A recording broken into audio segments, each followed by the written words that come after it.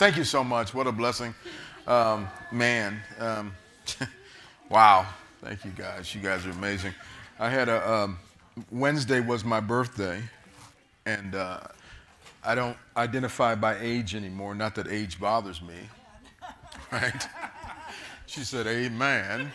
Um, but but when I was in, out when my wife and I were in North Carolina in February, uh, I heard uh, Pastor Whitfield was talking to somebody who told him said we are actually moving to various levels as we move up. So I'm at level 57. I like the way that sounds better. 57 years old. Yeah, exactly. Um, so uh, I'm gonna get Melanie. I'm gonna get you next Sunday. Can we do that or next Saturday? Melanie, Melanie, Dr. Melanie King. Wave your hand, darling. Dr. Melanie King sent us a testimony this week. For sake of time, I'm gonna get it from her next Sunday. I mean Saturday. Next Saturday. We won't be here next Sunday, um, but uh, 5 p.m. Yes, indeed. But uh, what a blessing! What a blessing! Tremendous God is using and blessing her and many of you in tremendous, tremendous ways. Where's Susan at? Susan came here without a walker and without a cane. Amen. Amen. And, and many of you, you know, uh, I'm delighted that the word is working in your life because if it's not, then you're probably in the wrong place or you're not applying it. You know, I would rather think that you're just not applying it, but it, it does work. Amen. The word of God does work. Boy, I'm excited. I really am. Um, glory to God. So is my grandson. Uh, on, on Wednesday, I started to say my birthday was Wednesday, and Dominic, how many of you know Dominic, my, net, my, my grandson? We were there, and we were just kind of having a, a, a birthday meal, and balloons were present. Well, Dominic is not quite three. So, so he walks up to me and he says, Papa, it's your birthday? And he's at that stage where he keeps saying, Why? Why? Every um, why? You can say why all you want and explain and think you're why. So he, he, said, he said to me, he said, then he said, Why, Papa? He said, I want a birthday. And so we turned that my birthday into his birthday. and boy, he had, are these my balloons now? uh, but the, the joy of a child and their innocence is what Jesus came to make all of us be aware of. Amen. And uh, so it was a delight, and we were blessed. And I, I, did go out. I did go out catching in the frigid weather of Wednesday. And I'm delighted to say I didn't come up empty-handed. Didn't catch all I wanted, but I caught something. Amen. And so many times you may not get all you want, but you should be getting something from the Lord. Amen. Let's just pray and we'll, we'll see where the Lord takes us this morning. I got a couple things in my heart, but I'm just going to follow the leading of the Holy Spirit. Heavenly Father, in the name of Jesus, Jesus, we welcome your presence in this place. How delighted we are that you make all of this a reality, not just myths, not just fables, not just an unconscious effort, Lord God, to be somehow another, you know, feel like we, we need something as a crutch, but rather we recognize your deity and your humanity and your love for us. And your word says that if Christ be not risen, then we of all people are most miserable indeed. But you are risen. You are real. You are alive. And we're not ashamed of the gospel of Jesus Christ, for it is the power of God unto salvation to everyone that believes. And I'm a believer today, Father. I'm a believer that your presence is with me, the anointing of your great Holy Spirit, precious Spirit of God is upon me and in me that allows me to speak as an oracle of God so that your people are blessed, not for my own glorification or my own recognition. It is simply so that your people are blessed.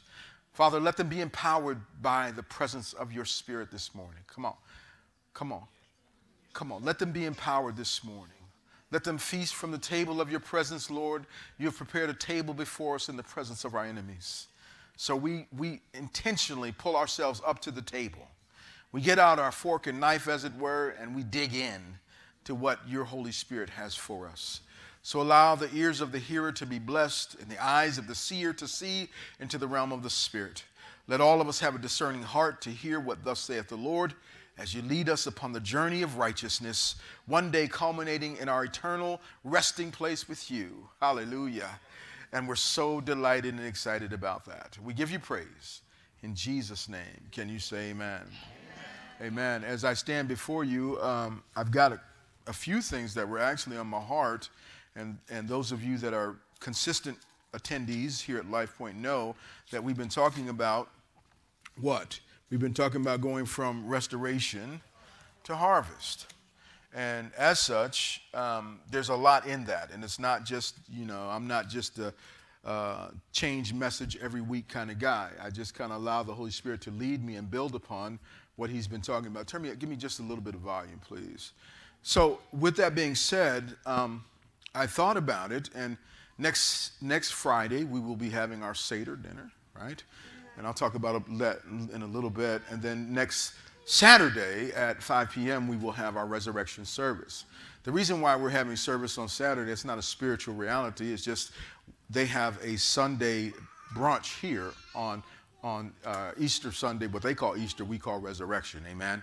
So, as such, we will be displaced, but I hope you'll make time, if you're able, to come be with us on next Saturday evening at 5 p.m. Amen. I am, I am always, um, as are you, as are you, I'm always curious about um, things that I don't have a handle on. Um, it's easy in Christianity. How many Christians we got in here today? It's easy in Christianity to somehow or another get into this lulled state or false sense of security where we think that all we have to do is get born again and everything else takes care of itself. Yeah. And with God, I, I don't see anywhere in His Word where that is the case. Rather, I see things that seem to be about God that almost take on a combative nature. And I'm always surprised when people of God say things to me or to my wife or to you, I don't like to fight. And yet, this battle of, of our lives, because that's what it is, is not a war. Help me, somebody the war has been won. And we typically call it spiritual warfare. And I get it, I understand, that's what we've been trained. But rather, we need to condense things down to a battle, if not, not every year, how about just every month or every day? Because every day we're battling for the reality of who God called, calls us. Calls us. I don't know about you, but many times I feel like I am less than, I am less than uh, who God called me to be. Yeah. Glory to God. I think I've got microphone. Glory to God. So, with that being said, what happens is with God, what we have to do is we have to be cognizant of the fact or the reality. God is always consistently, say consistently, consistently moving and doing things on our behalf. Always. There's never a time when God forgets who you are. God does not qualify his love for you based on your current reality. If I use the bells, and I do frequently because they sit on the front row, and as long as they sit on the front row, I will always use them. Amen. but their their their their um, acknowledgement or existence in God is not based on the fact that they are both ordained elders under this ministry. Very has, really has very little to do with anything. God's God's love for me or His reality and how He treats me is not based on because I'm a shepherd but it's based on because I acknowledge who his son is in my life. And as long as I call Jesus Lord and do the things that Jesus has called me to do, God will always be moving for my success, no matter how much I feel like I have, have or have not accomplished in Him. Stay with me now, come on. What that does, it destroys the myth that people somehow or another are only pleasing to God when they're born again. Help me, God. I was pleasing to God before I knew Him. I just was not saved. There's a difference. Because until I get saved, I can be pleasing to God doing things. My wife and I, you know, those, most, most of you know our struggle. For the first eight and a half years our, of our married life, we were headed for disaster. But God still loved me because the Bible says that for God so loved the Christian the Bible says that God so loved the world that he gave his only begotten son. That what? Whosoever. And so in my in my current situation at that time, what I did not know is that I needed to take the take the plunge as it were and leap into salvation. And once once I get born again, then the pleasing doesn't stop, but rather it escalates to the point where I can now all of a sudden begin to hear his voice and do his will at such a level that whoever encounters me encounters the living God. Can you say amen to that? So what we uh, as as we're under attack in the battle, say the battle, as we're under attack, what happens is the devil's devil's counterattack and his agents are constantly reminding us of who we used to be, what we used to do, how many ladies we slept with, how many guys we slept with, how many lies we told, how many things we stole, how many times we did not do what was pleasing to God. But God is not the author of confusion, nor is He the author of your past. Matter of fact, He is the author and finisher of our faith. So, with that being said, I want us to get a conscious thought in our, in our thinking. What if you and I, today, sitting here today, knew that we only had one week to live? If you could, if you could condense it down to the very moment, the very hour, the very, very minute of your departure, your death. I, I know people don't like to hear the word death because it kind of shocks them into reality, but but unless the Lord delays his coming, each one of us is going to go by the way of the grave. I, you know, I know it's not the appointment that we look forward to. I know it's it is his life. It's not the appointment that we we somehow or another we try to avoid it at any cost, all costs. Anything I can do, if I can make this heart better, if I can make these lungs better, if I can make you know my blood system better, if I can make my body more physically sound, if I can work on this mind and stave off dementia and Alzheimer's and all these things, if I can somehow another grasp onto the, the very fabric and fiber of why I'm here, but you are not here to live forever, you are here to do the will of him who sent you. And so we move into this realm now, and you say, well, you know, I don't know when I'm going to die. You're right, you don't. But the Bible doesn't say that you have a time to die. The Bible says it is appointed unto man once to die, and then the judgment. So, in other words, and I'm not going to get too, too far into that, but in other words, we've all been born for the same reason, in many respects, that Jesus was born. Jesus was born to die. As a matter of fact, the Bible says in the book of Ephesians that he was the lamb that was slain before what? The very foundation of the world. So what I want to I want to do is I want to take you through uh, you know, I'm just titling this your, your last week alive, but, but we're going to use the life of Jesus as our benchmark. Can we do that?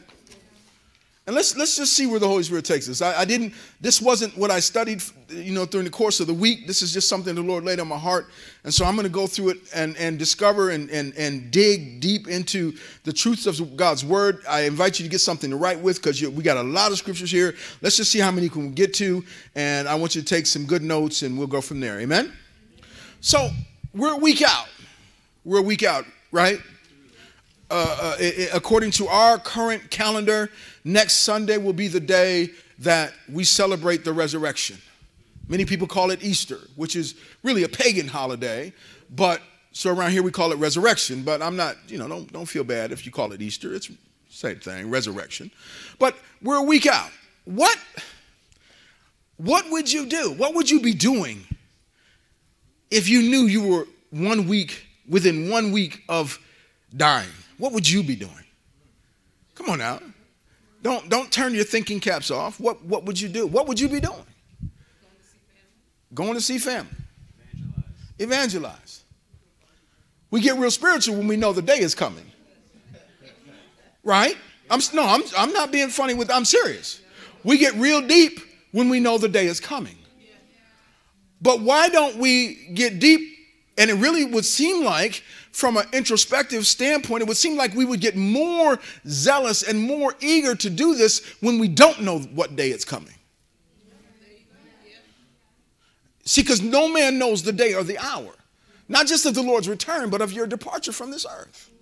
And so every moment of every every every day is significant. And, and sadly many times all you hear is people who are maybe have a terminal disease and they realize maybe they've got a platform or whatever and they realize that their their their, finality or their their what's the word I'm looking for? Their their um, mortality is is no longer under their control. And so then they become real and real uh, uh, aware and very deep as it were Right? Am I right about it? And what happens is, you know, what God calls us to do is not necessarily be deep at the time of our departure, but to be deep, using that word in quotations, every moment of every day because somebody's life may depend on whether or not you tell them about Jesus. Isn't that right? So let's look at a couple things here. Let's let's look at let's look at uh, Saturday and Sunday, with Saturday being the original and genuine Sabbath. Y'all know that, amen. So, with Saturday and Sunday, let's look at what Jesus was doing. The Bible says, uh, matter of fact, uh, turn with me. I want to invite you to turn here. I don't want to leave you in, in, in the dark. John 11 and 55. Can you put it up on the board, please? John 11, 55. If you don't have a Bible, they again got scriptures will be going up in just a moment. Because I have to believe that Jesus now, how many of you would agree with me that Jesus knew when he was going to die? Yeah, he did. He did. Those of you that don't agree with me, we'll continue to pray for you. Amen. The Bible says, I'm reading from the expanded Bible, it was almost time for the Passover feast or the Passovers of the Passover of the Jews, the annual festival that celebrates God's rescue of Israel from Egypt. What was Jesus? This is more like a, a, a teaching session. Jesus was our what? What lamb? Passover lamb. So what Jesus is celebrating is what he is. Right? He's getting ready to make a um, sacrifice of his own life, John 12, you don't have to turn there, says that he says, he says, except a corn of wheat fall into the ground and die, it abides alone. But if it dies, it brings forth what? Much fruit. So here it says, it says, um, many from the country went up to Jerusalem before the Passover to do the special things to make themselves what? Pure or to consecrate themselves. Right? That's that's 1155. So on on the first thing that we see Jesus doing is he comes and he draws near to Jerusalem. He arrives at Bethany, Bethany, excuse me, 6 days before Passover. Do you see that? So we've already moved into 6 days out and Jesus is doing something specific. So I want you to turn with me, turn with me to John 12 and 1. Just my my Bible's the next page. Right? Are you there? Can you say amen? It says, therefore, six days before the Passover feast, Jesus went to Bethany, where Lazarus lived. Lazarus is the man that Jesus raised from the dead. We know that. So we see a deliberate attempt on Jesus' part to prepare himself for his sacrifice, or can I say it this way, his death. He's, I don't mean to be here at LifePointe, we like to have fun, so forgive me if I offend your, your fun meter. but I doubt very seriously that if Jesus had Netflix, he'd be watching it. It just doesn't seem logical to me that if Jesus had an opportunity to, to be on Facebook or go to Bethany, that he would choose Facebook over Bethany because he knows he's on, now he's in day six. See, it's one thing to know that you got seven days. No, no, no. Now, to be clear, these days are guaranteed for you. You don't, you don't, you know, it's not like, well, you know, I could go at any moment. Y'all hear me now this morning. It's not that he's just going to go any moment. He knows how much time he has. So he knows that he's not going to go in day six of seven. It makes a difference. It makes a difference to his approach. It should make a difference to our approach, knowing that we do not have the ability to control the time of our departure. Right? Okay, so in day six, he moves now and he's he's now entered where? Where's he gone into? Bethany. So in Bethany, here what he's doing is he's he's doing the same thing he was doing before. He's making preparations. So uh, on Saturday, Jesus was anointed at Simon the leper's house. Now, I want you to turn with me to John, uh, excuse me, turn to uh, Matthew 26. And the reason why I want you to see the scripture because I want you to know that I'm not making this stuff up. Is that all right? Okay. Matthew 26 and verse 6. If you have it, say amen. Thank you, Father. Still hear some pages turning?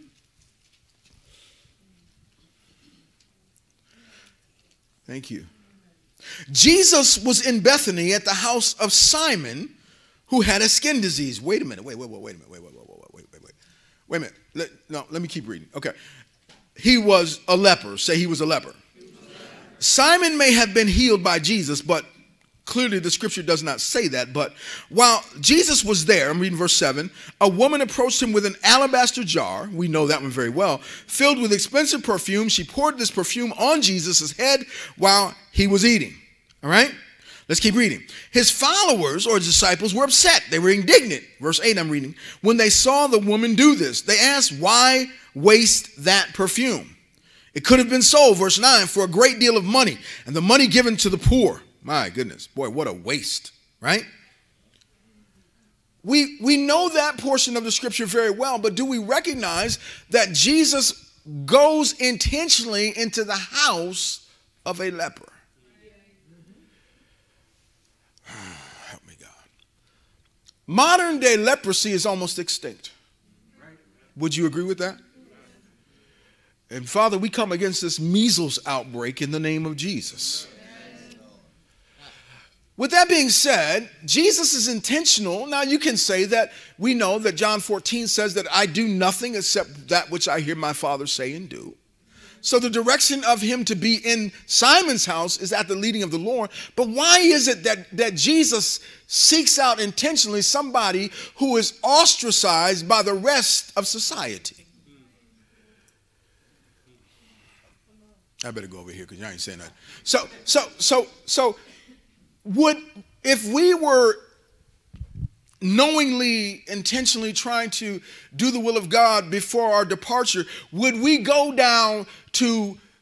I don't think there's any Susies in here, so I can use that word. I think any Susie, no, there's Suzanne. Let me back off that one. Any Nancy's in here, just to be clear. Any Nancy's, any Nancy's, raise your hand now. Now's your time of escaping, okay? Go down to Sister Nancy's house, and Sister Nancy is a hoe.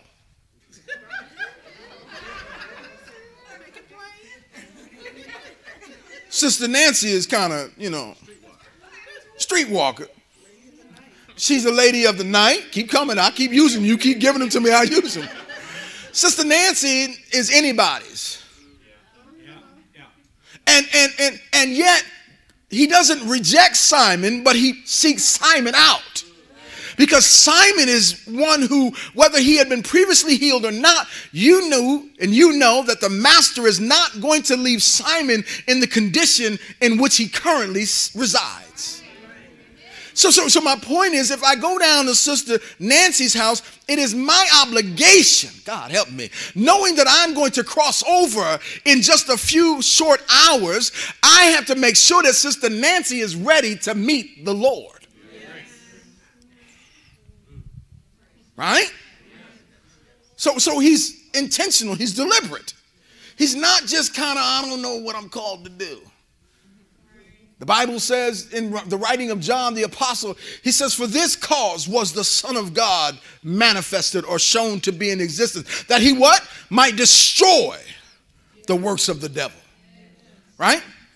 Okay, so we've moved into what day? What day we moved into? Did we anybody still with me?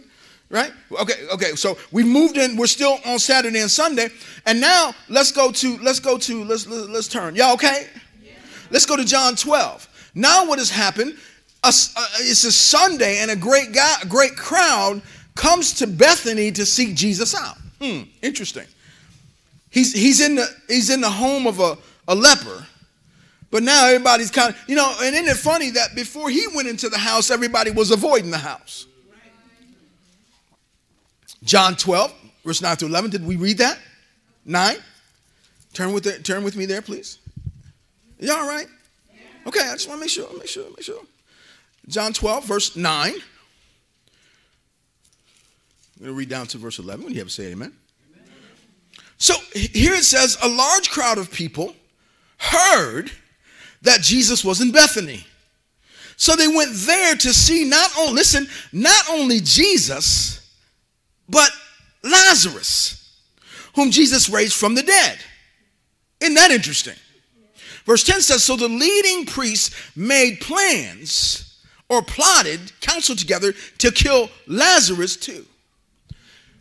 Now, what's happening? Jesus is now taking himself, knowing that he has enemies in the, in the, in the community, does not stop him from showing up there.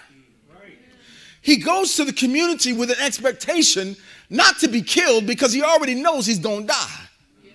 So when you already know that you're going to die, there really is no fear of death. Rather, there is an intentionality and purpose of your death that causes you to find out what am I here for? And, and, and, and to me, I said this last week, you know, just, just, a, just a little break there.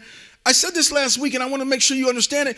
We're not called to live by the Bible as much as we are called to live the Bible. In other words, we are, we are, you know, one author says that we are written or living epistles, read of all men. In other words, my life is not so much a history book as it is a story book. God help me. In, in other words, I'm here to show that God is real to the community of Iowa City and Coralville and Tiffin and North Liberty. That's why I'm here. So, what I've got to do is not hide behind my pastor title. I can't hide behind my church Sunday existence or my the suit of clothes that I have on. I have to step out of this and step into the reality of why God called me here in the first place. And if he didn't call me here to change somebody's life, then I am wasting my mine and his time. Okay. Okay. Okay. Okay. All right. So a great crowd comes to Bethany to see Jesus. Now let's push on to Monday. Can we do that? Monday. Say Monday. Monday. Turn with me to John 12. Verse 12. The next day, a great, somebody say, oh yeah, I'm right there. The next day, a great, I said that. The next day, a great crowd who had come to Jerusalem for the what? Passover feast, which is the annual festival that celebrates God's rescue of Israel from Egypt. Y'all do know that, right? Write down Exodus 12 if you don't. Study it later. They heard that Jesus was coming there, so they took branches of palm trees and went out to meet Jesus shouting. Now, your Bible, if it's King James, probably says what? Hosanna, which is an Aramaic cry. Hosanna, or it means salvation, right? Now, look up at me. They've heard he is coming. Is this the first time he's been to Bethany? Why is it significant that they now begin to shout Hosanna? Come on, y'all, I know the answer to this. Because they have been taught that the king of the Jews would show up during the Passover feast. In other words, I'm excited when I hear that Christian is coming, but I'm not so much excited for Christians coming as the timing and the, the potential reason why he's coming. It's like this. John writes, the Apostle John writes, that we should look even more so to the coming of Jesus with such an expectation that even so we say unto the heavens, Come quickly, Lord Jesus. So, in other words, when we see the sign of the time and the sign of the age, we should be delighted that, oh my God, is he really coming today? So they start being drawn by their religious tradition. Religious tradition will never override spirit intuition. That's why it's important that we be spiritually in tuned rather than religiously inclined. I, I, don't show up to church just because it's Sunday and this is what I do. I show up with an expectation that, Alvin, today might be the day he might just come while we're in the middle of a church service. Help me some. So, so, so my point is that I want to be wherever his presence tells me to be. So they come, right? And they're there and they're kind of hanging out. I'm going to read it again. The next day, a great crowd who had come to Jerusalem for the Passover feast, that's why they were there, heard that Jesus was coming there and they're all excited. So Jesus enters into, into Jerusalem, right? And he does something which is spectacular to me. He visits the temple. Now, with that being said, turn with me to Matthew 21. Are y'all all right? Yes. Matthew 21. We're going to begin at verse 1. We're going to do a little reading here, if that's okay. Even if it's not, y'all be all right. Hallelujah. Yes, Lord. I hear you, sir. Matthew 21, verse 1. Now, look up at me for a minute. Uh, gentlemen, I really don't like this thing. I tell you, I'm part Italian. I grew up in New York. I got to be able to talk with my hands. That's Jewish. Anyway, just kidding. I'm just kidding. I'm just kidding. Y'all better lighten up, man. We have become so, God, where were we yesterday, darling? We were at a store. I won't mention the store because some of y'all might work there. Y'all might have stock in that store. Y'all might not appreciate me talking bad about your store. And it wasn't Walmart. Amen. I'm just saying. See? Wasn't Walmart. Y'all know my affinity towards Walmart. But we were in a store yesterday, and there was, am I on? There was a store that we were in, and we saw. It's on. Testing one, two. Am I? Is that me? Yay! Hallelujah! I can use my hands again. In the store that we're in, there was this creepy thing. And that creepy thing about weirded me out. And I'll say what y'all want to say. It had ears. Some of y'all finally starting to wait. Oh, okay. And a big head and a furry body. And it just sat there doing this. All the little kids came up and they just doing this. And I thought to myself, if I was six, I wouldn't walk up on that thing. I wouldn't. I mean, you know, I ain't never been no scary person. I grew up in the country, so you really can't be scared of shadows and stuff when you live in the country. Because you out there in the country and stuff is always making noise, right? And so, anyway, I looked at that thing. I thought, you know what? I just want to walk up to it and lay hands on it suddenly. See, some of y'all thought I was going to say smack it. I, I, I ain't say that. Y'all say that.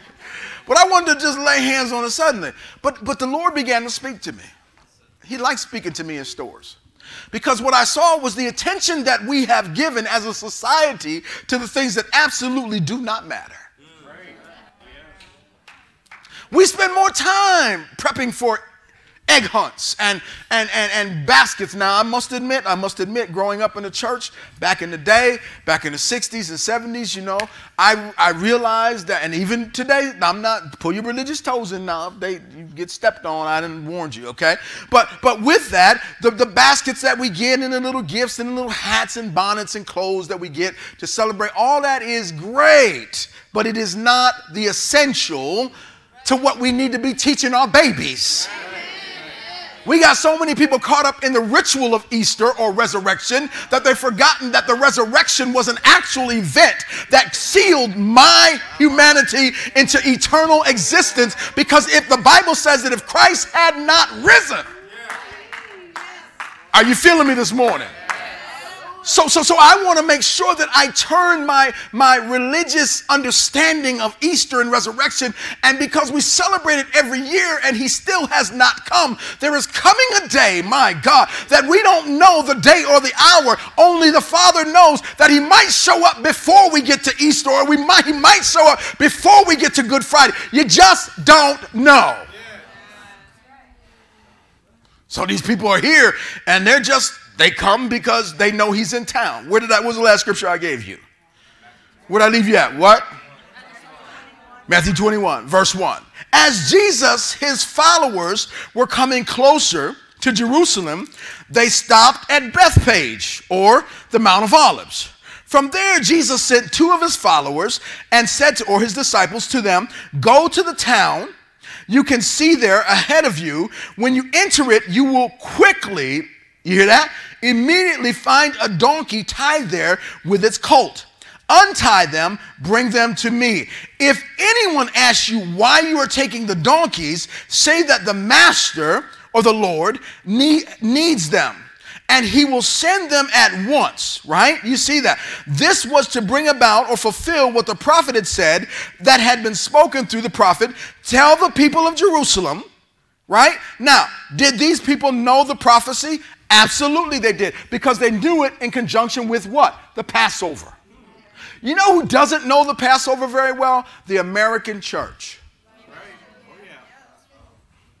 because we have reduced it down to simply a little event involving a bunny and eggs. How you get a bunny out of Easter, I simply don't know. Are you feeling me? So, so, so they knew this. So let's keep going. He says, Behold, your king is coming to you. He is gentle and riding on a donkey. Where do we find that at? Write it down. Isaiah 62 is one place. Zechariah 62 and 11, I'm sorry, my apologies. And Zechariah 9 and 9. So they knew the word, did they not? They knew it. They knew he was coming. The problem was he did not look like they wanted him to look. Can I, can I, can I just interject this little bit of my own thought here by the Holy Ghost? They know who you are, you just don't look like they want you to look. They know that you're anointed. And there's something peculiar about you that they really can't tap into. But they know that they don't see, see, when, when, when, oh God help me. When you, when you come around, the cursing seems to die down a little bit. When you come around, and they don't know what to say. They try to they try to manage their language because there's something about you. They can't put their finger on it but they know that there's something about you. And they did the same thing with jesus. So you don't you don't think it's strange. It's just part of who you are. All right let me keep going. What verse i leave you at? Six? Okay. So he says here uh, so the followers or the disciples went and did what Jesus told them to do. In other words, they went, went, went and got the donkey. They brought the donkey, verse 7, and the colt to Jesus and laid their coats on them. And Jesus sat on them. Verse 8 Many people, or a very large crowd, spread their coats on the road. Others cut branches from the trees and spread them on the road. Excuse me. The people were walking ahead of Jesus and behind, following him, shouting Say shouting. shouting. In other words, they weren't quiet. He comes in and they start shouting, Hosanna! Right? Right? A Hebrew, which is a Hebrew word which is used for help. But by this time, it is it, they've turned it into a praise. He says, Hosanna to the Son of God, which is a title for the what? Messiah. In other words, they know what they've learned. Can I can please stay with me? in, in their own Hebraic Sunday school. From the Talmud and, and, and, and, and, all of the things that they've learned through the teaching of Moses, you know, uh, uh, they've learned that the Messiah is going to come and, and the time of his coming is going to be around the time of the Passover. So, but just because they know that doesn't mean their hearts were prepared for it. He says, God bless the one who comes in the name of the Lord. Psalm 118 and 26. Praise to God in heaven. Verse 10, I'm a, that's where I'm going to end this one. When Jesus entered Jerusalem, all the city was filled with excitement, stirred up in an uproar. The people asked, Who is this man? the crowd said, verse 11, This man is Jesus, the prophet from Nazareth in Galilee. And yet, when they said it, by their own announcement or pronouncement of it, they condemned themselves because they did not know that he was the Messiah, because they saw him as just somebody from Nazareth of Galilee. Where are you from? I'm from Romulus, New York, born in Geneva, New York. How many y'all been to Geneva, New York? By show of hands. How many y'all been to Romulus, New York? By show of hands. You feeling me? Many of them had not even been to Nazareth in Galilee, but they knew that that's where he was from. So rather than looking for the Messiah, they were looking for the prophet. Not to mess your spirituality up, not trying to infer anything. But there is a difference in the, in the prophet and the Messiah. There's a difference in the fivefold minister and Jesus. There should not be a significant difference in the two, but many times the apostle and the prophet and the teacher and evangelist and pastor do not necessarily have the voice of the master. And if, if, if, they don't really bring Jesus to you, I doubt seriously whether or not they really are from God. We have people that sit in our churches. I'd like to exclude LifePointe. Can I exclude LifePointe? We have people that sit in our churches that say they love Jesus, but don't even know him. Couldn't recognize him if he came up and thunked him in the head. That's not condemnation, that's ignorance. And, and so my, my point, and, and as, I, as I move down through this, I want you to see that Jesus did not avoid even those people that did not know him. He didn't say, don't throw that, don't, don't throw down the palm leaf. Don't do that. He got on the donkey and is and, and, and listen to me, as equally as equal, equally triumphant as he was, he was equally not moved. Because uh, being on the donkey was not a sign of victory. God help me. It was not a confirmation as much as it was a fulfillment of the word of God that had already been spoken about how he had to live the last week of his life. So, in other words, he sends them to the city and says, Go get the donkey, go get the foal, one or colt, bring them to me. And he doesn't say, No, no, no, that's not good enough for me. He says, Thank you very much, as it were. They drape their clothes across. He sits down because the scriptures must be fulfilled in his lifetime. And the same thing is true about you and I. it, it, it is a dangerous thing. Hand me my rag, please. It, it's in my it's in the outside fold here that side right there. It is a dangerous thing not to know the scriptures. God help me this morning. Because in knowing the scriptures, you know, thank you, you know what God has already said about you. To not know the scriptures is to live a life of, of, of, of underfulfilled uh, uh, passions, dreams, and, and, and, and, and wishes and prayers. Because ultimately, what happens is if I can't identify my existence in the scriptures, I am really here for nothing. Somebody else, I ain't never been to church like this. I know. Neither have I. That's not bragging, I'm just telling you the truth. So, so, so, so what is happening? What day did I, did I leave you on Tuesday? Or did I leave you on Monday? I left you on Monday. Okay, so, so let's, let's, let's keep going.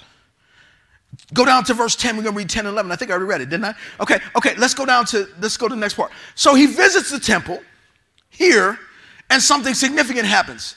And then he returns back to Bethany. Okay? Now, the significance of this is when he returns back to Bethany at the date that he returns or the day that he returns, which we would commonly call Monday. So you wonder what Jesus was doing on Monday? I'm telling you. He's doing this. This is the day that the Passover lambs are being selected. They're being, they're being picked. Now, what was the significance of the Passover lamb? Somebody tell me real quick. What was important about it? That they have no blemish, no spot, no deformity, right? So, so in other words, listen, so God help me. So in other words, what's happening in the natural mirrors what God is doing in the supernatural. So in other words, they're picking, getting ready to pick the lambs, and God's lamb has already come into the city.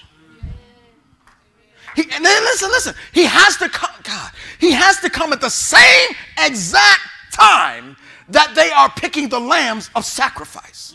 Because in the natural, they are looking for the right one. Help me. You ever look for the right one, the right thing? You're looking, you're examining, and you know, I mean, I'm just speaking as a guy. When I look at a woman, I'm looking at the woman that I'm, you know, especially when I'm still choosing. I've already chosen, so y'all feeling me, right? So I've made my choice. I ain't looking no more. I found the one that that oh God help me. That helps me find what I'm looking for. It has to be without spot and without blemish. And doesn't mean that they don't have some type of issue that I can't see, but I'm only looking at what I can see based on what God has given me according to the scriptures. And now Jesus has come and he enters in, and all of heaven is watching his entrance. And the religious leaders are supposed to be seeing that the Lamb has entered into the city, but because they are blinded by their religion. They cannot even determine and recognize that the Messiah, God help me, the Lamb that the Bible has already declared was slain before the foundation of the earth, just walked back into town. So, so, so they enter into Jerusalem. So, what I, what I, what I, what I take you at? What's the last one? All right, let's let's go to let's go to uh, just skip down to verse 18 here. Okay, so he comes in, he enters in Jerusalem, and he presents himself. He presents himself as the Paschal or the Passover lamb. Isn't that interesting? So, verse 18, if you have it, say amen. Early the next morning, as Jesus was going back to the city, he became hungry. Now the lamb is hungry. God help me. There's such irony there that if I had time, I, eh, the lamb now gets hungry. In other words, in other words, we cannot separate the deity of God from the humanity of God. In, in other words, what, what people, the problem that most people have with, with us, with us, is that they see the package of Kelsey and they think that, well, that's not godly enough for me to receive God through Kelsey. Yeah, I saying. So, so when they look at the Lamb of God, he's not fitting their criteria, but the Lamb recognizes that he is the Lamb is a man, is a man. The Lamb is a man. And so because he's human, he still has the necessity to be able to fulfill the human requirements. The Bible doesn't say that he fasted from the from day, day seven to day one. Uh, I better stop because We think that fasting is the right thing to do, but not if the Holy Ghost didn't tell you to do it. I think I'll fast to, you need to hear God. Amen. Mm. Okay, okay, okay. So what does he do? Let's let's keep reading. Let's keep reading. So so uh, he goes down and and uh, skipping down again to verse 18. He says, early next morning, as Jesus was going back to the city, he became hungry. Seeing a fig tree beside the road, Jesus goes to it, but there were no figs. He found nothing on the tree, only leaves. Wait a minute. Write this down. You write it down. Go there later. Isaiah 5. Isaiah 5, verses 1 through 7. No, matter of fact, we got to go there. Just hold your Bible, hold your place right there, because I don't want to mess you up. And I want to make sure that we're scripturally accurate, so I ain't making this stuff up. Some of y'all might think, where are you getting all this from? From the Bible. Amen. Say amen, somebody. Now I will, verse 1, uh, Isaiah 5, verse 1. Now I will sing for my friend, beloved, a song about his vineyard right? Israel is the vineyard and God is its owner. Y'all know that, right? My friend had a vineyard on a hill with a very rich soil. Verse 2 He dug and cleared the field of stones, planted the best grapevines there. He built a tower in the middle of it, and out of it a winepress as well. Glory to God. He hoped uh, to see good grapes would grow there, but only bad ones grew. Verse 3 You people living in Jerusalem and you people of Ju- Ju- Judah, judge between me and my vineyard. What more could I have done for my vineyard than I have already done? Although I expected good grapes to grow, why were there only bad or sour ones? Now I will tell you what I will do to my vineyard. I will remove the hedge and it will be burned. I will break down the stone wall and it will be walked in other words, Jesus is the fulfillment here. He has taken the, the, the, protection that Israel had because of its security with God. They, have, they had turned it into a religious ceremony. And now God says, I had this hedge about you, but because you would not receive it, you were looking for something different. I've got to remove it. But in my removing it, I'm going to give you a lamb that will protect all of Israel, all of the engrafted church from this day forward. Let me keep going. Let me keep going. I hope, am I boring y'all? I hope I'm not. He, he, he says here, he says here, let me keep going. Verse, verse 18, 19. Glory to God. So Jesus said to the tree, You will never again have fruit. The tree immediately dried up. Now, with that being said, with that being said, Help me now. Somebody help me. I'm, I'm just a pole.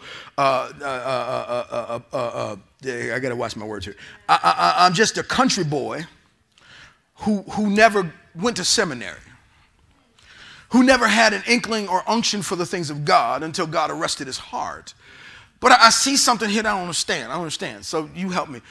Why would Jesus curse a tree that had leaves, a fig tree, but no fruit? Why would he curse it? Why, why, why, what, what benefit is there to curse the tree? It's already not producing, it's already barren, other than leaves. And, and, yet there is something supernatural going on behind the scenes because he's on this, listen, he's, he's on this final entrance to his preparation for his death. So, so, so Jesus, I believe, you can dispute me and tell me if I'm wrong if you want to, that's fine, just show me from scripture. But I believe, I believe, but I believe that the tree had been pre-positioned by God to be there for the necessity of the lamb. It speaks to God, we, talk, we commonly call him Jehovah Jireh. It speaks to who God is in essence. In other words, there are things that have supernaturally been placed in, in, in the path of your fulfillment of your life that if you just keep walking, you will encounter things that you did not even know were there.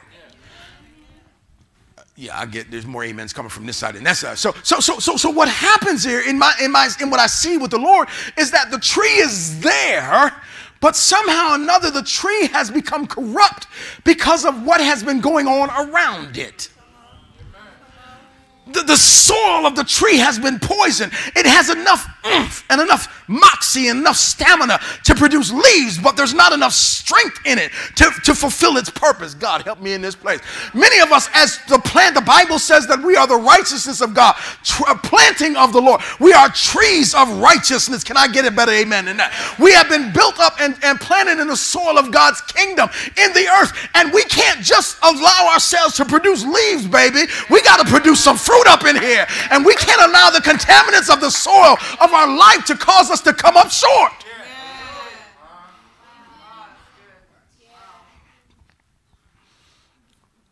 What, what are some of the most disappointing words that Jesus is going to speak to people? Listen, to Christians, not many people think that's unbelievers at the end time. Depart from me. I don't even know who you are. And you say, but Lord, I'm a tree. I am a, I am a righteous planting. And the Lord said, Well, where, where's your fruit?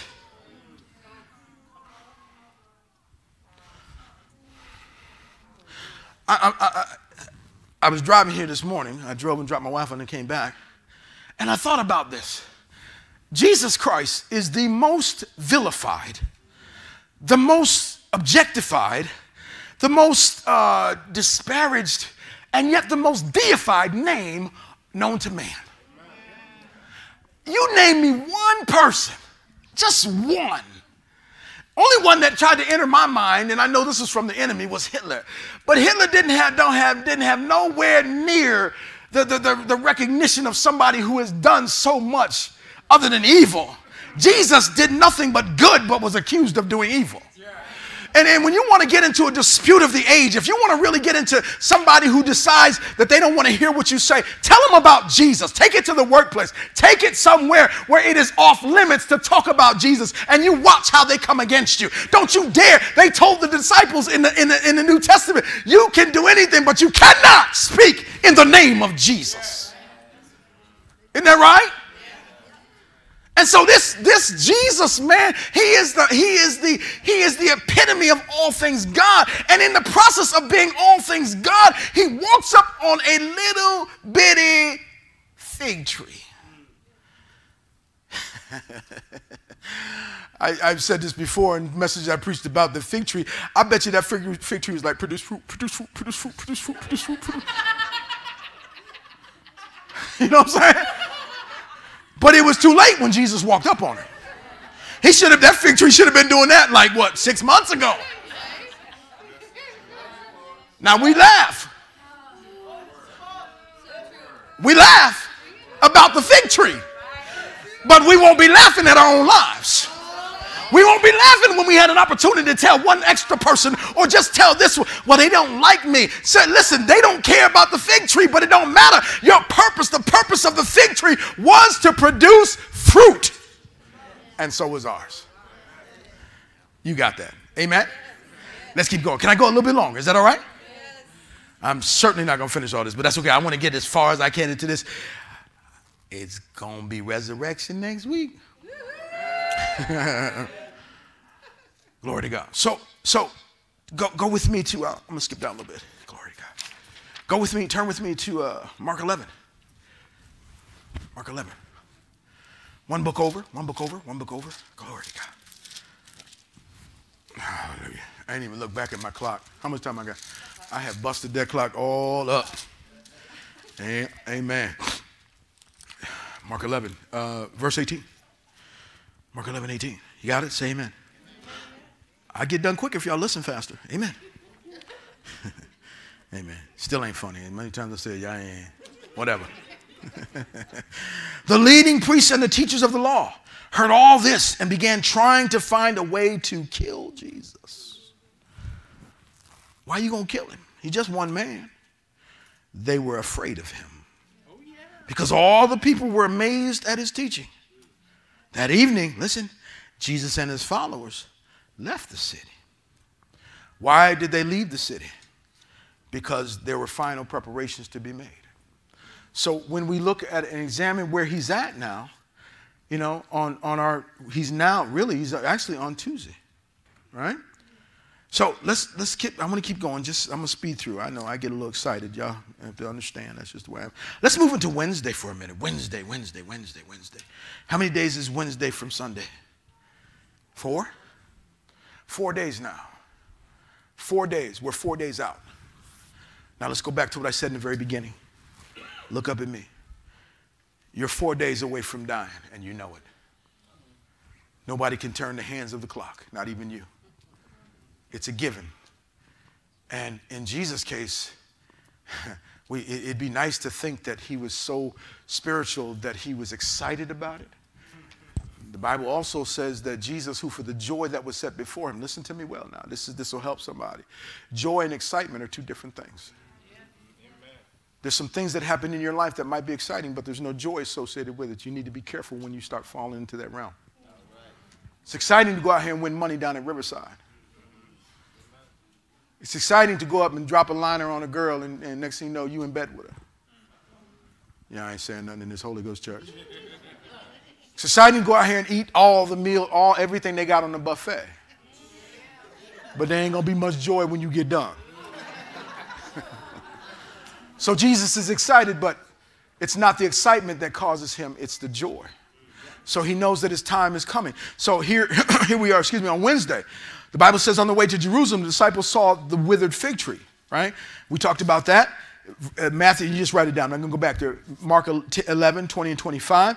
That afternoon, excuse me, at the temple in Jerusalem, Jesus' authority and wisdom was questioned by some religious leaders. In other words, they plotted to kill him, did they not? Because they started seeing that people were, people, look, this thing was working. Yeah. It was working. He's already gone to the home of Simon the leper. Wait a minute, we're not even supposed to be around lepers, right? Isn't that what the law taught? Come on, y'all. What is a leper supposed to do when they walk out in society? Unclean. We have no concept of that in our current day society. Unclean. And they were required to walk and wear a certain garment and to walk and when people were around, they were required to keep a certain distance between them and the people if they were in public at all. And the only reason why they would be in public, it was an absolute necessity because to be in public meant, to, meant the possibility of being stoned. And these are people that are untouchables. That's where that term comes from. They were not touchable, they were not approachable. And Jesus walks right up to them. I'm coming to your house tonight, buddy. Shocked them. They were shocked. What would happen with a church of people that walked right into the most contemptible and vile of places. I'm scared of them drug addicts on East Side. That's where you need to be. Oh, I got a few in. I, I better stay here. I, I, I don't want to go around them because they drink too much. That's right where you need to be. Yeah. I'll come back over when y'all say amen. Hey, I don't want to be around her because she a hoe and he's a, he's a, he's a, what is he? Uh, Did they say, did they really say pimp in church? what are you? The, ch- the church has resisted, resisted approaching people who don't fit their little square box. Resisted them. I don't care what y'all say. I know good and well. Y'all go in some churches and they look funny at y'all because y'all there. I ain't talking about color or sex. It don't matter. There's something oozing out of you called the anointing of the Holy Ghost that when you walk in, uh oh, I'm one of those. Mm, so that's what they did with Jesus. Let me keep going. Let me keep going. So, so here he is on, on Monday. So he's gone that. Uh, Tuesday, he's come back in and they're trying to kill him. That evening, the Bible says Jesus left Jerusalem Jerusalem, returning as, as, it, as it appears back to Bethany. Let's go to Wednesday. On Wednesday, on the way to Jerusalem, the disciples saw the withering fig tree at the temple in Jerusalem. Jesus' authority and wisdom was questioned by some religious leaders. That afternoon, Jesus went to the Mount of Olives, delivered his discourse to them that were assembled. Let's take a look, real quick look at that scripture at Matthew 24. I'm not going to read the whole thing. Many of you know it. Matthew 24 is one of the most, it, it, well, forgive me, Father, is the most prophetic book in the Bible as spoken by Jesus himself. And what he does, what it speaks to is he does not leave them comfortless. In other words, he has the he doesn't he doesn't get upset because they were trying to kill him. He simply stays focused on his purpose and says, "You know what? This is what's going to happen at the end of the age."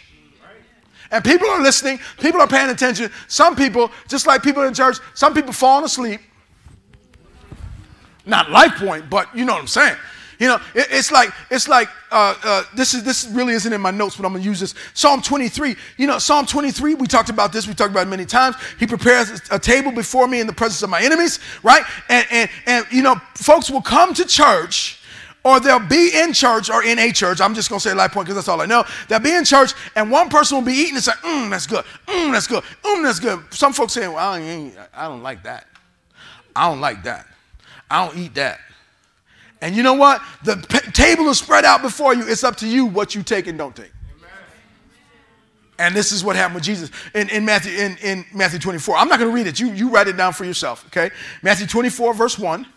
Jesus begins to just lay out his heart and talk to them about the plan of God and what they can look for in terms of what's going to happen, what's coming down the road.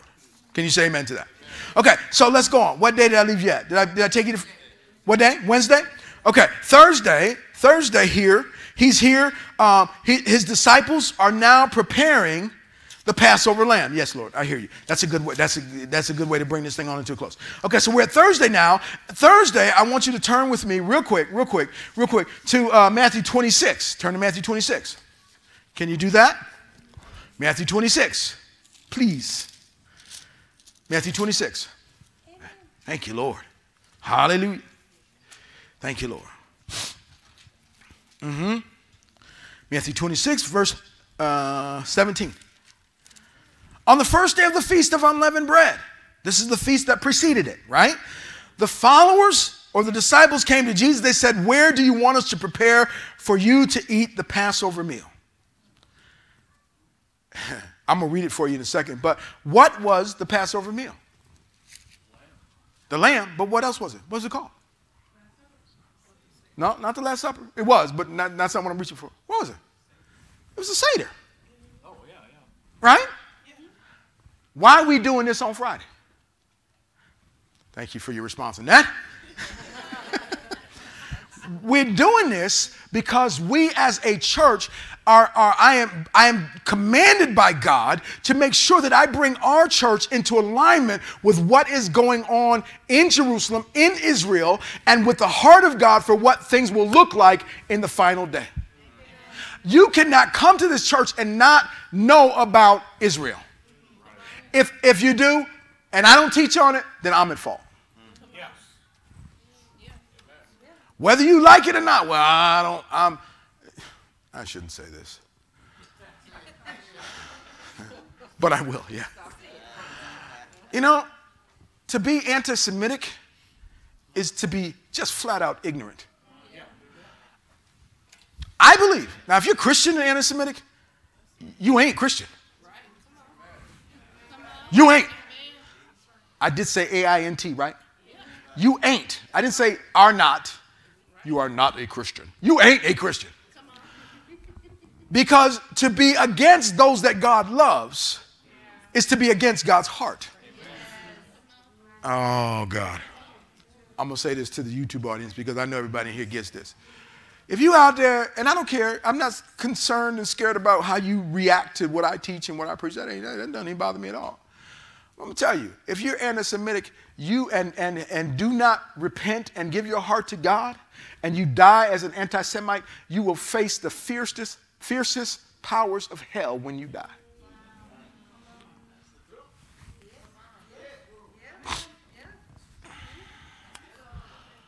I don't know. Y'all might as well pull him in because I told you. I don't know what happened with Hitler. He, he might have he might have repented. I don't know. But if he didn't, homeboy is burning eh, burning in a place that is only reserved for those who are the fiercest opponents of God. Let me. I better keep going because I had y'all till that. But okay, okay, okay. All right. Ten minutes and I'm done. Ten minutes. Somebody count, me, count me down. Ten minutes. Ten minutes. Give me ten minutes. okay, okay.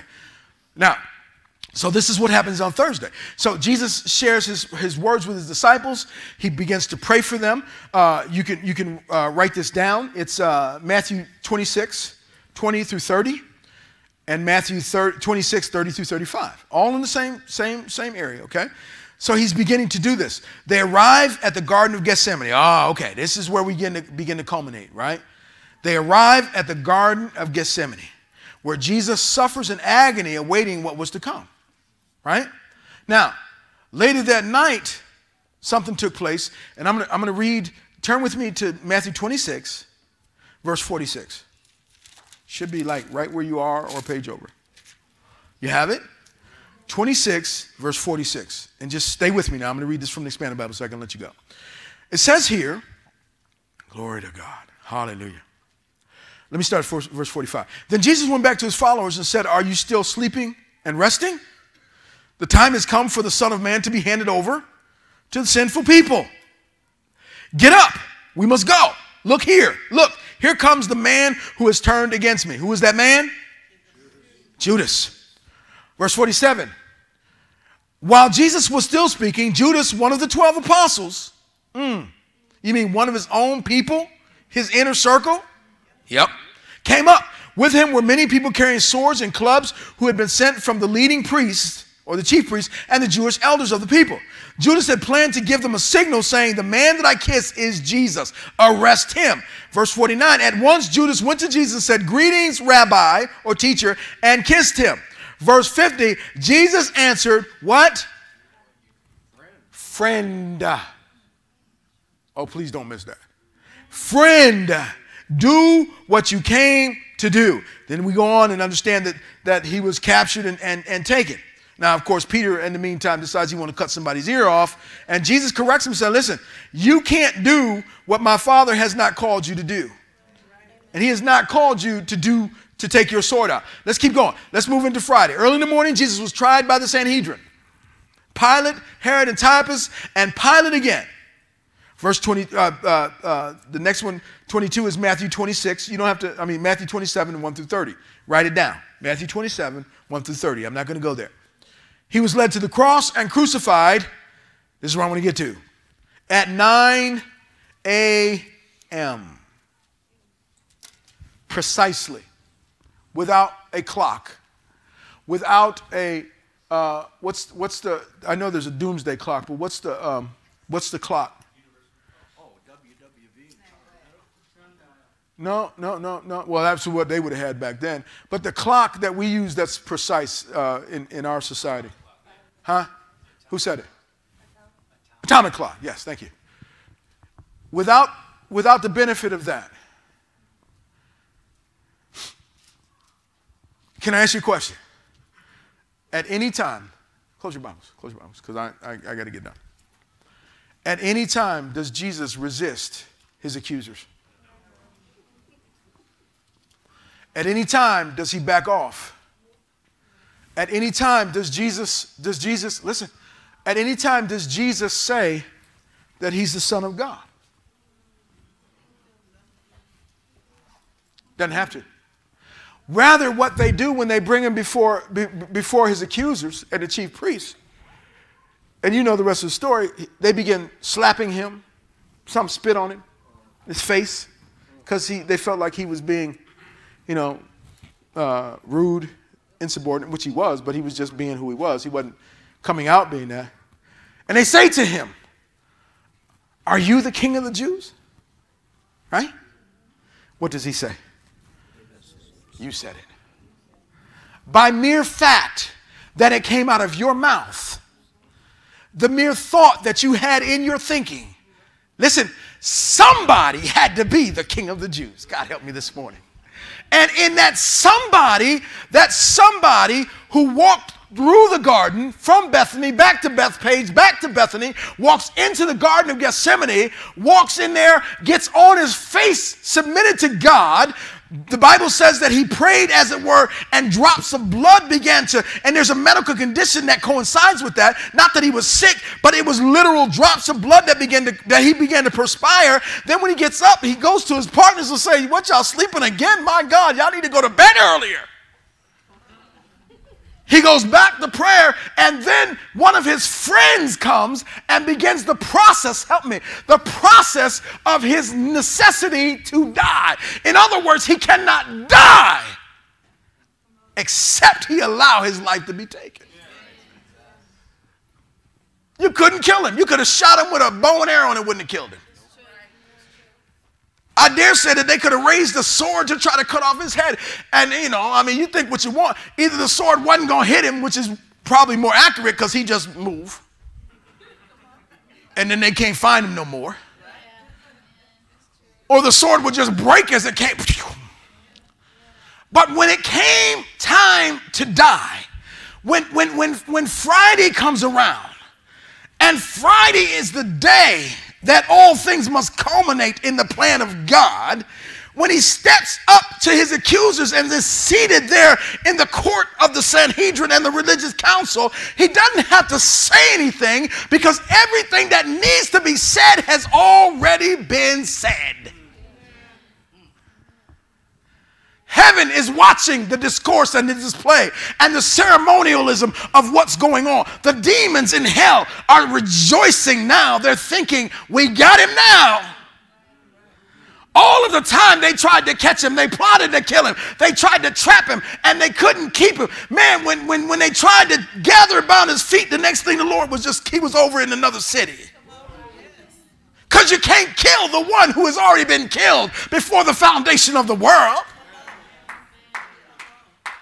He's there now and he doesn't resist. My God, he's not moving. The Bible says that he was, he was led as a, as a lamb dumb before his shearers. In other words, he's standing there and saying,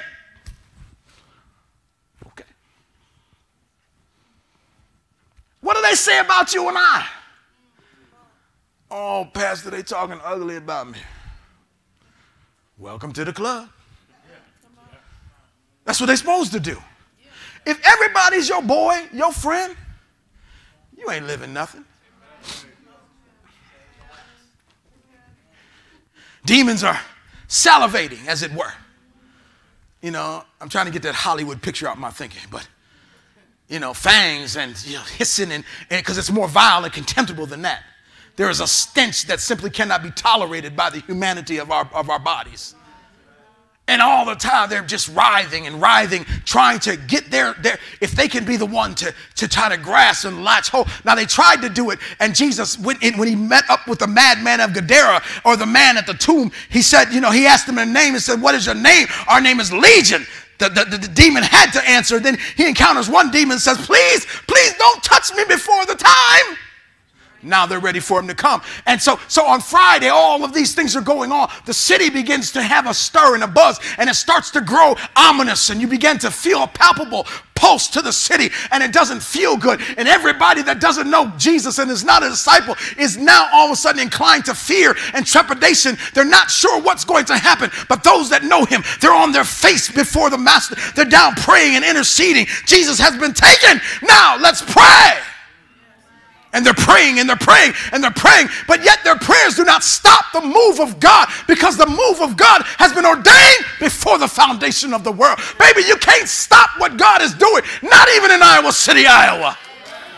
You can't stop it. I don't care what they raise against you. I don't care what they say about you, as long as you stay the course. Because the same one that sat there as a lamb and who died, the Bible lets us know that when he died, he went down and he had to be tormented by the enemies of his God and his Father. But in the midst of being tormented, God said, That's enough.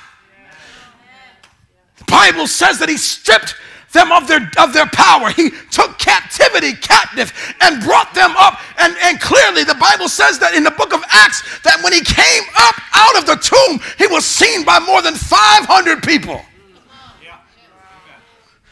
Here we are in the 21st century where people try to dis, dismiss the deity of God. The Bible, what scripture says that so what if men don't believe? Does it make the promise of God of none effect? 1 Corinthians 15 says that, says that if, if Christ be not risen, and, and, and, the, and the tactic of the enemy today is to somehow cause you and I to think that because we are 21 centuries, as it were, removed from his death, that somehow or another we don't have the same power. But the devil is a liar.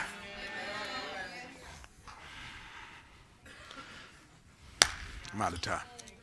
Not out of words. I'm out of time. Come on, lift your hands in the presence of God. Oh, God, help us this morning. Thank you, Lord. Thank you, Lord. Thank you, Lord. yes, He is risen, baby. He is risen indeed. Party took place in hell on Saturday, as it were, the Sabbath.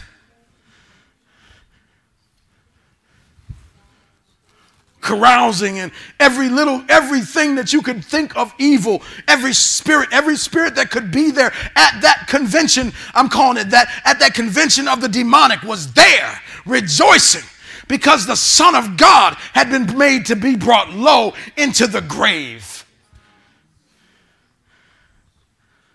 And so they danced around his grave. They looked and said ha Look at the Son of God now. And Jesus is silent in the tomb.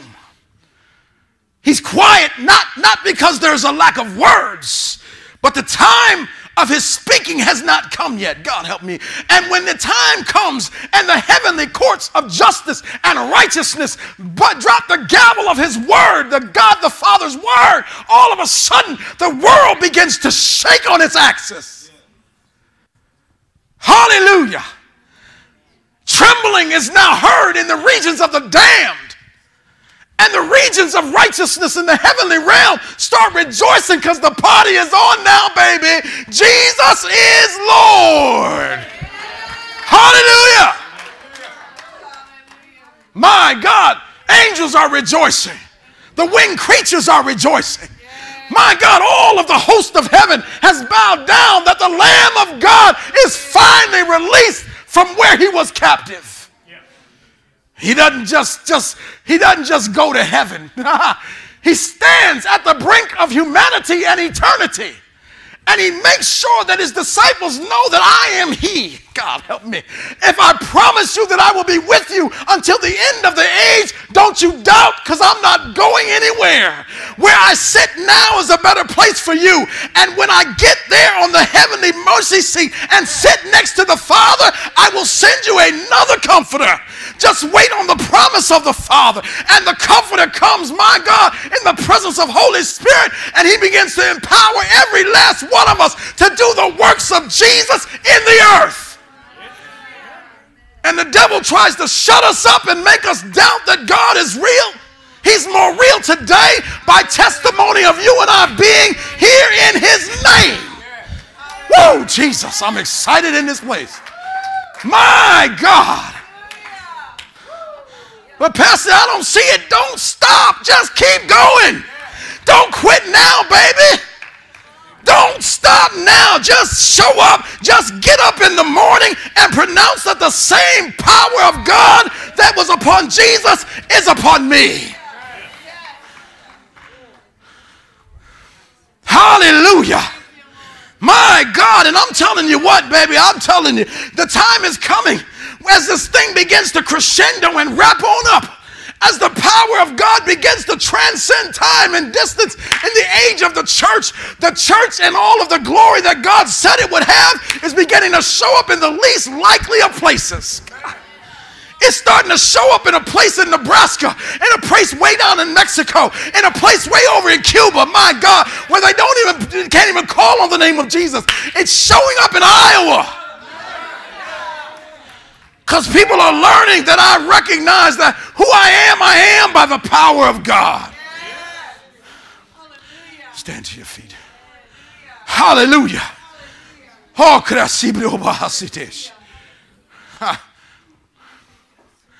Thank you, Master. Come on, lift your hands in the presence of God. Thank you, Master. Thank you, Lord. So, what he did on Friday was rest. Help me, Lord. He rested in the promise of the Father. What he did on Saturday, Monday through Saturday, he rested in the promise of the Father. That great glorious day that we call resurrection. The reason why we celebrate is not because we saw it, but because we believe it. I celebrate that which I cannot see. Oh, yeah, yeah, yeah, yeah, yeah. I'm, I'm, I'm, you know, I'm believing in healing, but I can't see it. If you wait till you see it, you'll never dance. If you wait till you see it, you'll never lift up holy hands. If you wait till you see it, you'll never open your mouth. But if you can believe, God help me. Jesus said that blessed are they that who have not seen but yet believe. I believe it. Wouldn't bother me at all if he came before we got to got to tomorrow. Wouldn't bother me at all. You wouldn't think twice unless you wasn't going. Then you would have something to think about. But that's not you. Father, today in the name of Jesus, I extend the, the, the, the, the, the scepter of your righteousness to those that don't believe. There are many that don't believe, Father, but it does not turn your righteousness or the power of God to none effect. Jesus, would you, by your Holy Spirit, walk right now and touch everybody, please? We invite you to do that. Angels of the Lord, maintain the protective barrier, the garrison about this place. Set a hedge of protection about their lives, their families, by the authority of God. We can say that, we can declare it because it's already been declared by your word. My Father, I praise you for healing your people. I praise you for changing their minds about who they are. I come against any inferiority complex in this place today because of that which is done by a parent or a relative or even a friend, suppose quote unquote friend of the family. Those known and unknown that have abused us, caused us to walk in places that have been dry for too long. Now we're reaching into the realm of the Spirit of God, reaching in with looking for life, lavish love, and the watering of the Holy Ghost. I repent for thinking evil and rendering evil for evil. I release myself from all captivity of the enemy. No more bars surrounding me. I am free indeed. I speak life to minds that are weary, lives that are less than fulfilled. I come against emotional abuse, mental deficiency. I come against it now by the blood and the authority of the Lamb of God. We were all once spiritual lepers, and yet Christ died for us. I receive restoration. Come on now. I don't know what it is you need to be restored from this morning. I know you do, though. Even if all is well, even if all is well this morning, it wasn't once always well. And so, those of you that have been fully restored, there's more to accomplish, more to do, but you need to make sure that you're telling somebody else how you got there. How did your marriage turn around? How did you come to a place of power with God and trust in the Holy Ghost? How did you come to a place of believing that what you hear is from God and not just your own mind? Stop waiting on the pastors to tell them or the leaders to tell them. You tell them. Tell them that if you just don't quit, God will turn it around. If you don't stop believing in Him, God is there every step of the journey. Tell them, tell them, don't stop speaking God's word. It shall come to pass, shall not return unto Him void.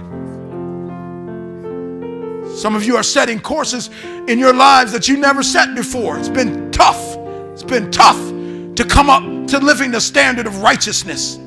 You can't just live loosely anymore. And it's been tough, but this is what you needed.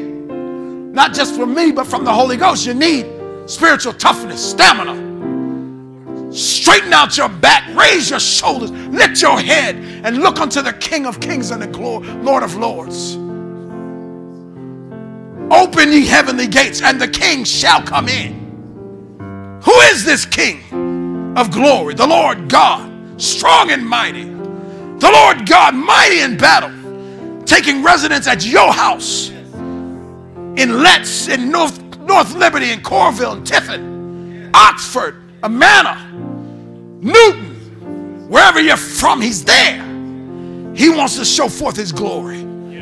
You just got to be the one He uses to do it. Join hands with somebody this morning as we dismiss. Is there anything else we need to do? I don't think so. There's a meeting right after. I got to get you out of here. Father, in the name of Jesus. Come on, Randy, play. The hand that I hold, not only are they a miracle, I don't even know what they've been through, but I know they would not be seated here today if it had not been for the miracle of Jesus Christ in their lives. Father, I thank you not only that they are a miracle, I pray and declare that they need a miracle. Some of us need miraculous financial impartation. Some of us need miraculous emotional healing. Some of us need miraculous restoration in our marriages. Our children, God, seem lost. We need you, God, and we put a demand on the King of Kings, on the power of heaven, just like Jesus did. We lift our voice in praise and adoration to you. We shut down the voice of the enemy that will complain because things are hard and things are tough and things don't, we don't like it. Shut up in Jesus' name. Turn your mourning into joy. Put on the garment of praise for the spirit of heaviness. Oh, King Jesus, we love you. As we prepare our hearts for this upcoming Seder, God, let us have a new understanding that symbolically in the spirit, the angels are inquiring and watching what we do, preparing for the influx of your great glory coming to the church that's already here and shall increase in the days ahead. I pray, God, for everyone from the north, south, east, and west, that no matter where they've been, no matter what they've come from, and no matter what they must go back to, they go back with a new understanding and enlightenment by your Holy Spirit. You've not hidden anything from them, you've given them all things that pertain unto life and godliness. I pray for them now. If there's anybody under the sound of my voice that has never accepted Jesus Christ, I'm not even going to call you up here. If you're foolish enough not to receive Jesus, then you really need a revelation. And I'm not talking ugly about you, I'm telling you that you need Jesus more than you need anything else. Doesn't mean all your problems are going to go away. That's a lie. Many of them will just start because now you're looking at it from a different place. But if you have not accepted Jesus Christ as your Lord and your Savior, I want you to know now that now is the time. I'm going to lead you in a prayer. I'm not even going to beg you, I'm not going to plead with you. I'm just going to say, God is already touching your heart and you would say that I need Jesus. Come on, everybody say that I need Jesus. I repent of sin. Jesus is my Lord. In Jesus' name we pray. Come on, give the Lord a great big round of applause and praise.